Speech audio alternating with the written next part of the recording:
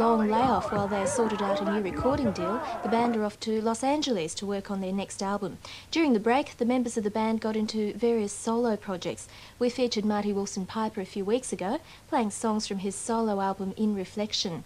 Now Steve Kilbey has written and published his own book, a collection of prose poetry called Earthed, and released an album with the same name. That's his second solo LP.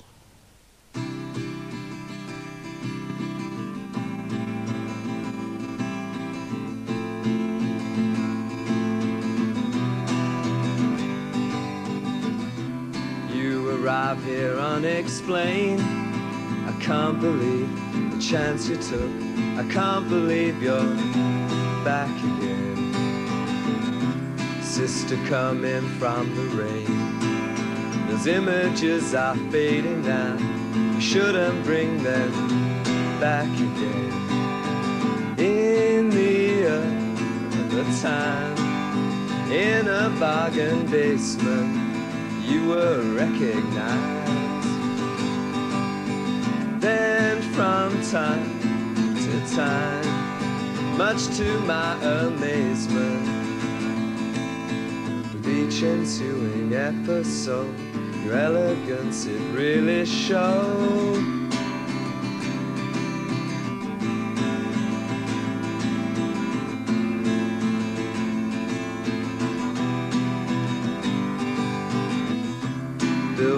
Blossom into view. The landscapes change and people blur. I can't believe this interests you. I read that bedtime interview. I wish they wouldn't print those things. It only makes it hard for you. In the other time, in a bargain basement you were recognized. Then from time to time, much to my amazement, with each ensuing episode, your elegance it really showed.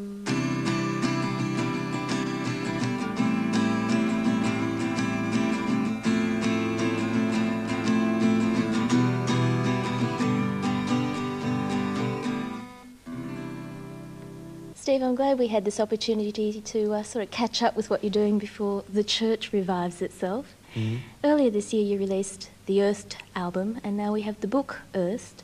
Is there a connection between the two? Um, possibly referring to the Unearthed album, and then there's the Earthed album and the Earth book. Um, there's no, I just like the um, I just like the play on words between unearthed and earthed, and sort of the tangential kind of opposite meaning that they have. Um, I guess it's it's just sort of a bit confusing. I, I sometimes enjoy confusing people. But the Earthed album, mm. um, is that meant to be a companion to the book? Definitely. That the Earthed album, which just came out last week, is a, um, an actual a soundtrack for the book. It's sort of an accessory to the book. Like, in my mind, the book is the most important thing, and then if you enjoy the book, you can sort of um, as one wag put it, you can uh, read the record and listen to the book. How did the book come around? They, they told me that you're um, the first sort of famous Australian pop musician to uh, put out a book. How did you get round to um, deciding to write and publish it? Um, I've always felt that sort of song lyrics are a bit confining for what some of the things I've wanted to express, and uh, I just thought, to hell with it, you know, I'll pay for it myself and put it out. And so I just sat down at home and wrote it. And then um, um, a colleague of mine put me in touch with the kind of people who could typeset it and, you know, decide how thick the cover should be and all those things I hadn't really thought about. And it was quite an easy thing to do, really. The style you use is prose poetry, yeah. which, um, in a way, for people who don't read a lot of poetry, mm. is more accessible. Definitely. Not a very common style, though. Why did you choose that? Um, to me, prose poetry gives the best of both worlds. Um, I think poetry has a certain, just the look of it, the way it's written in verses, puts people off a bit. And um, prose itself tends to just be like an essay. So I, I like the, the, the actual layout of prose, where you just use sentences rather than verses, but um, being able to use the stylistic sort of jumps that a poet can use. You know, it's a poetic license, so you can jump all over the place within within a paragraph rather than within a verse. And you do. I do, yeah. Yeah, I found it a really easy to read book, and quite entertaining. A lot of it. Yeah. Um, how different is it from writing songs? It's totally different because if you've got a song, you know, it's got, you know the song's going to be three minutes long, and you know it's got to have meter, and it's probably got a rhyme. It's got to have a verse and a chorus and a refrain and a middle eight and a bridge. And um, with a, with writing this book, I just sat down with a piece of paper in front of me and just could be as long as I liked, short as I like. Um, you know, you can broach any subjects you like. You can swear or talk about sort of things that you probably can't get into. You know, you don't have to think, oh, are they going to play this on the radio or is, you know, someone in the record company not going to like this? You can just do whatever you like. I guess to some extent you can do what you like with music too. I mean, music has its free forms, and songs, there's no real reason why songs can't also be as free form as poetry. Um, I guess not. I won't argue with that. There's no reason, but it just tends to be like um, rock music does have a certain kind of. Um, there are stylistic boundaries you have to work within. Like, even you, you get your most hardcore punk band and the words rhyme, you know? They ha have a hard job finding a word to rhyme with anarchy a lot of the time, but nonetheless, they, it does have to rhyme. It does have to have a certain beat, you know? Whereas with, with what I did with this book, it, it could just be, you know, one sentence long or it could be three pages long. It could just do anything it liked. And you, you never have to come back to this recurring theme, which songs are supposed to have something that tie them all together. What do you find more satisfying, this solo work you've been doing or your work with the church? Um, I, I really like doing things on my own. Um, it's, it's a bit like the difference between playing football and playing tennis. You know, it's nice to have the other chaps there to pass the ball to and sort of help you score the goals. On the, on the other hand, it's good to sort of know that, you know, everything you're doing sort of resting on your own shoulders. It'd be really hard to write a book with the rest of the band because you'd all be holding the pen saying, do you mind if I put a comma in here, Richard? You know what I mean? Whereas when you're on your own, you just do whatever you like. You don't, don't have to verbalise your ideas. I find that by the time I've finished verbalising an idea to, say, someone else in the band or an engineer or a producer or whoever's involved, it's sort of um, the fact has sagged through constant analysis and I'm already tired of it. When you do things on your own, you can just go straight from your brain to your left hand and do it. And that's what I like. Mm. In the beginning of your book, you sort of suggest that poetry is a, a purer form, somehow incorruptible because there's no money involved. Exactly.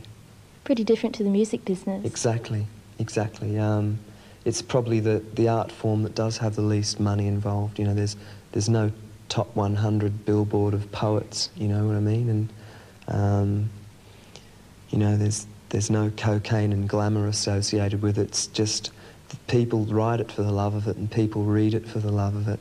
And uh, as I said in the book, there's, apart from the, the stylistic tricks that you have up your sleeve, there's no, no way you can enhance your poetry. There's no, you know, you can't electronically process it to make it better poetry. So that's what I really like about it. It's, it's, to me, it's probably the most pure art form there is. You've had quite a break with the church, and you, all the members have gone off and done mm. your own things. Yeah. Are you going to go back together and have a different approach, do you think, because you've had a chance to explore all these other avenues?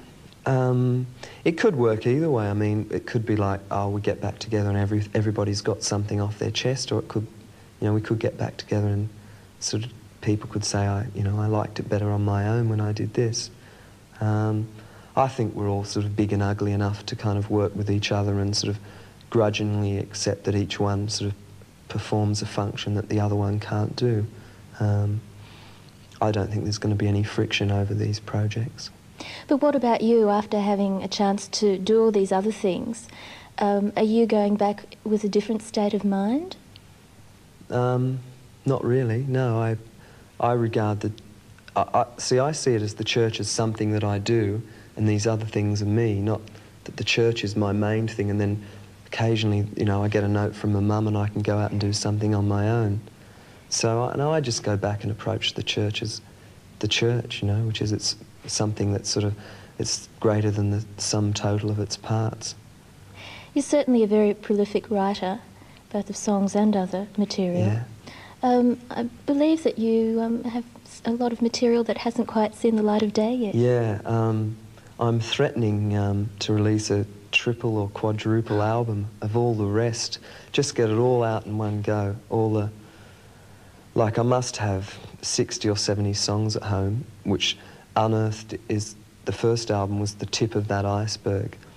And like that one's that one's been around, Unearthed's been around for a long time, still selling well, so I've sort of figured, you know, if people like that, then I might as well get all the rest of it out of my system once and for all because there's stuff sitting at home on a tape which I think is as good as anything else I've done and deserves to be heard.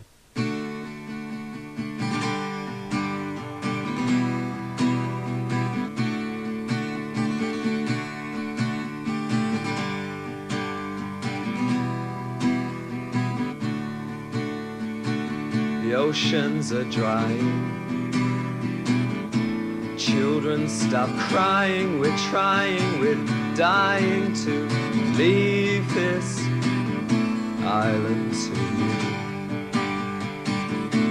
No recovery.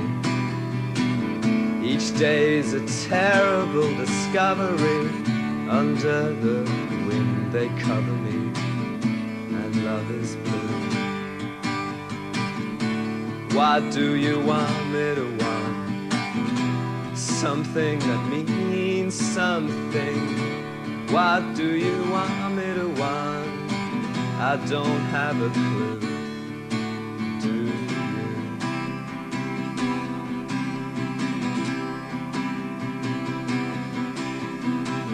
A bribe from Venus. I know she's above and between us. She's been with us, seen with us, dreamed of us too. No recovery, and all these sins don't bother me under the skin of me, which is you. What do you want me to want something that means something? What do you want me to want? I don't have a clue. Do you?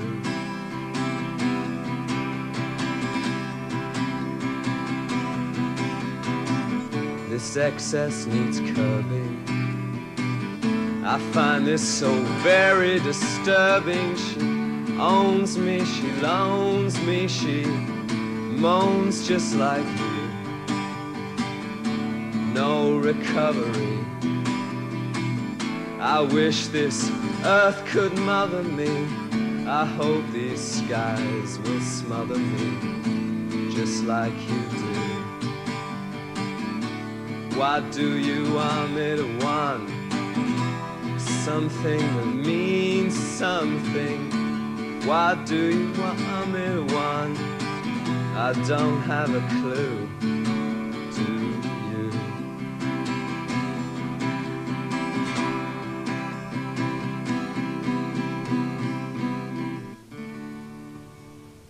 Steve Kilbey, who's now off to LA to record with the church. in this country